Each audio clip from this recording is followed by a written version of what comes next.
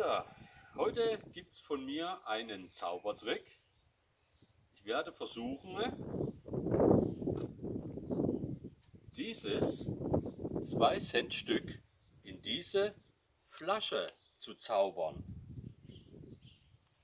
Dazu ist es ganz wichtig, dass man den passenden Zauberspruch kann. Ich habe in einem alten Zauberbuch äh, einen Zauberspruch gefunden, der nennt sich äh, Hokus Pokus Fidibus und den probieren wir jetzt gleich mal aus. Münze, Flasche. Hokus Pokus Fidibus. Oh, ich glaube, es hat funktioniert. Die Münze scheint in der Flasche zu sein.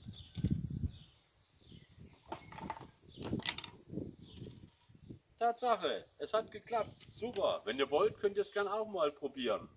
Bis bald.